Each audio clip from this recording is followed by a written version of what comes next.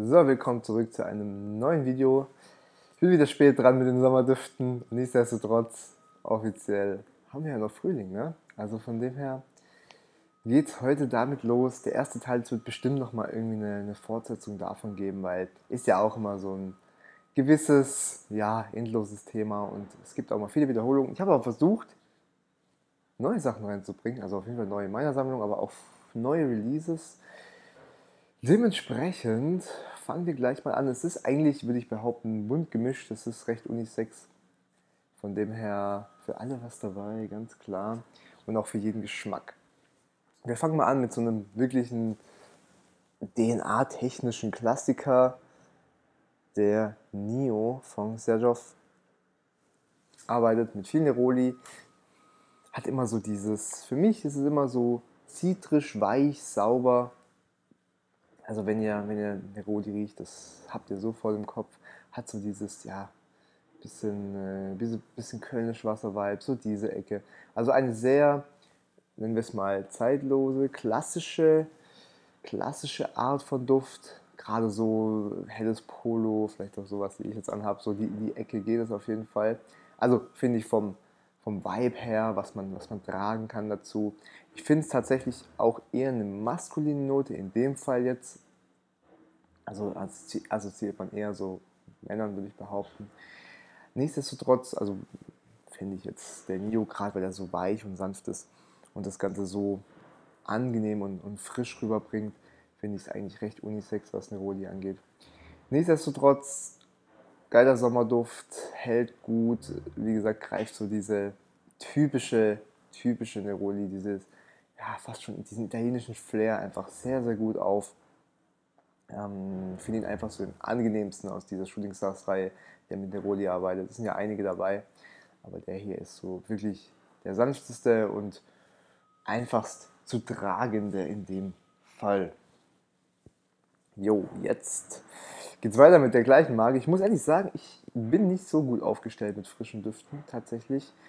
Ja, tendenziell bin ich mehr so im orientalischen Bereich mehr angesiedelt. Aber ich habe tatsächlich die meisten frischen Düfte von Serjov. Also sonst eher hier und da mal einen, ne? aber davon sind es doch einige. Also das hier ist der Torino 21, ist ja, ja letztes Jahr erst, letztes Jahr, Anfang dieses Jahres rausgekommen. Ich verlinke euch auch gerne nochmal irgendwo hier oben oder da.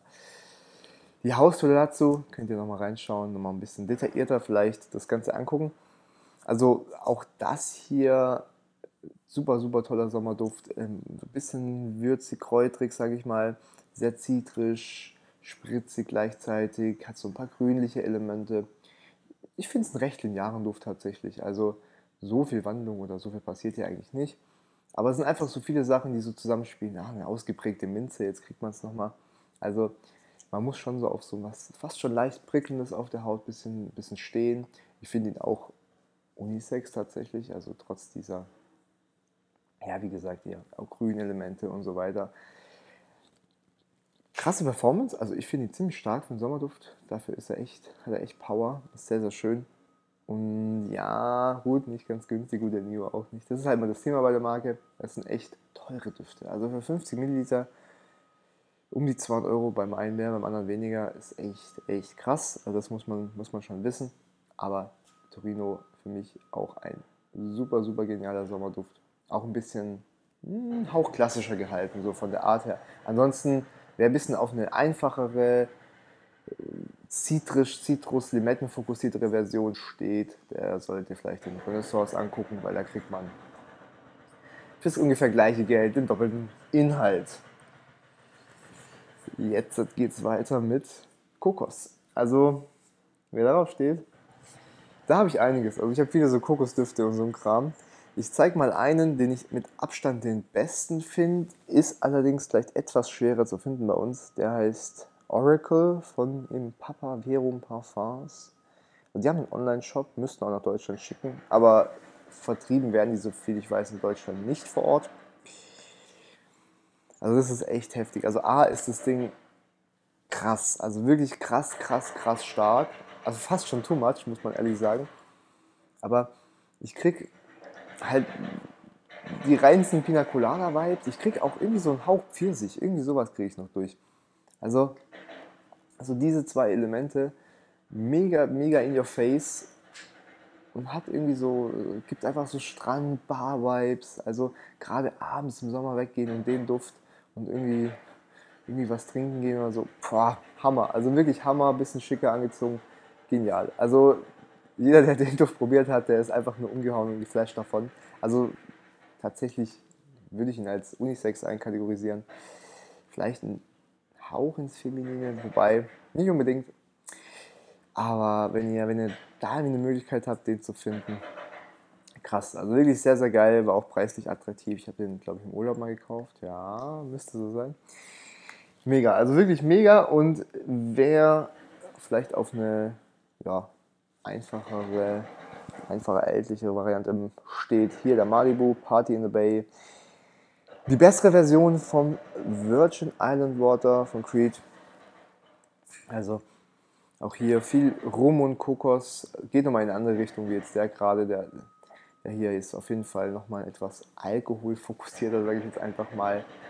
Aber auch das hier äh, brutal stark, das Ding gerade so für den Sommer fast auch wieder ein bisschen too much, je nachdem. Aber ähnliches Setting, ähnliche Anwendung. Ich finde vielleicht den hier tendenziell eher ins Maskuline durch diese, diese starke Rumnote, die er noch mit drin hat. Aber beides grandiose Kokosdüfte. Jetzt kommen wir zu einer tatsächlich wesentlich, wesentlich günstigeren Alternative zum Midsummer Dream äh, von Roger Parfums, was ja ein wirklich geiler Luft ist, muss man ja ehrlich sagen. Aber das hier ist der Stockholm 1978, 1978. Das ist eine US-Marke hier, Wilhelm. Der Duft hat, ja, er, geht sehr, sehr, sehr stark, wie gesagt, in diese Midsummer-Richtung. Vielleicht etwas einfacher, nicht ganz so interessant verwoben, könnte man sagen. Aber anfangs so ein bisschen so, so ein, so wirklich so ein Saunaaufguss, der einen so richtig ins Leben holt, die da tatsächlich einen kleinen Kick gibt. Und dann haben wir auch diesen, ja, ganz schwierig zu beschreiben, diesen zitrisch-blumig umwobenen, leichten, angenehmen Hauch, den auch der, der Midsummer Dream eben hat. Nur kostet der Duft halt ungefähr ein Drittel vom Preis. Ne?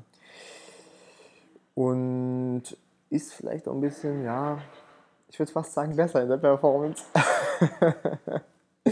Wobei, das schenkt sich, glaube ich, nichts.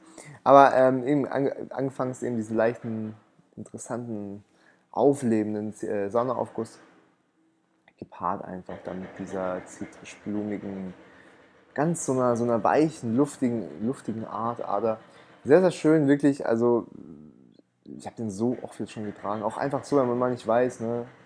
Brauchen frischen Duft, zack, der geht immer. Auch hier völliger Unisex-Duft, also ich sehe da gar keine Probleme den auszutauschen. Ja, kein Ding. Solltet ihr euch vielleicht mal näher anschauen, finde ich genial für den Sommer.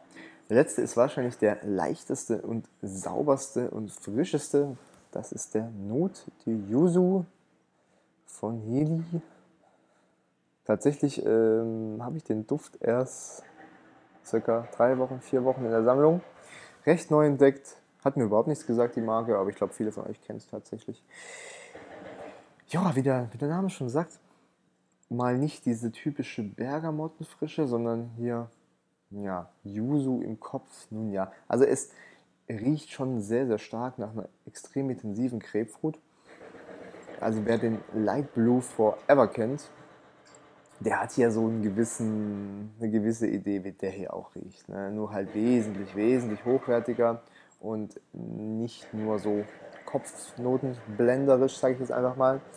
Also wie gesagt, dieses sehr intensiv, spritzig, fast schon ein bisschen bittere, wie so eine eben extrem ja, starke Grapefruit einfach. So diese Richtung geht dieser Kopf, der sich eigentlich auch sehr, sehr, sehr, sehr lange hält, muss man echt sagen, beziehungsweise eigentlich fast bis zum Ende. Natürlich schwächt sich alles ein bisschen ab.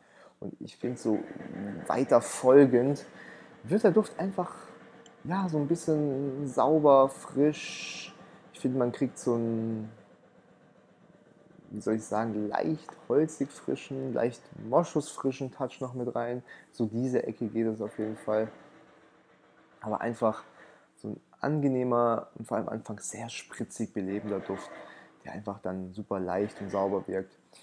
Also gerade Sommer, wenn man helle Klamotten anhat, was weiß ist auf jeden Fall, es wirklich heiß ist, also wirklich heiß dann glaube ich, ist der perfekt, weil er ja, er fast vielleicht sogar ein bisschen was Kühlendes noch mit sich bringt. Also geniales Ding, hat 130 Euro auf 100 Milliliter gekostet, finde ich super in Ordnung für so einen Nischenduft. Zerstäuber ist gut, habe ich aber meine Bedenken, aber das können ja viele 1000 Euro Marken nicht. Dementsprechend cooles Teil, hat mir extrem, extrem gut getaugt, auch Performance war dafür sehr, sehr gut, sehr, sehr stark. Also mehr als ausreichend für einen Sommerduft. Also damit kommt man schon gut über die Runden, über den Tag, wenn es wirklich warm ist. Müsst ihr euch mal angucken. Ganz klare Empfehlung, falls ihr die noch nicht kanntet. In dem Sinne, das war jetzt mal der erste Teil. Ich habe echt versucht, ein paar, vor allem halt bei mir neue Sachen reinzubringen, die ich noch nicht so, also noch nicht in dem Kontext gezeigt habe, so muss man es vielleicht sagen. Und nicht die üblichen Verdächtigen, die wir jedes Jahr sehen mit Light Blue Intense und Co. Also ich glaube, das wissen die Leute mittlerweile, dass man den gut im Sommer tragen kann. Aber es gibt halt auch noch andere Düfte. In diesem Sinne, vielen, vielen Dank wieder fürs Zuschauen, fürs Zuhören. Ich hoffe, ihr habt ein bisschen was mitgenommen und wir sehen uns beim nächsten Mal. Chao, chao.